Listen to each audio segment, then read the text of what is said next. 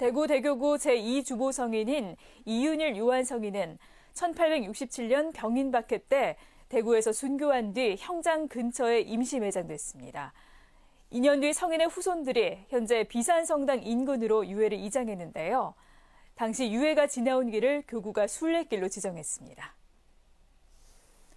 대구 대교구는 성 이윤일 요한의 시성 34주년 순교 151주기를 맞아 성 이윤일 요한의 사랑과 순교의 길을 교구 성지 순례길로 지정했습니다.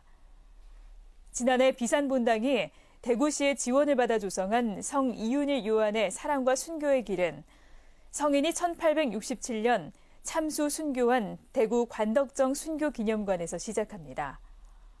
주교자 계산성당을 지나 달성공원, 북비산 내거리, 성인 무덤 추정지의 기념비를 거쳐 비산성당까지 성인의 유해를 후손들이 모시고 이동한 경로를 따라 3.6km가량 이어집니다.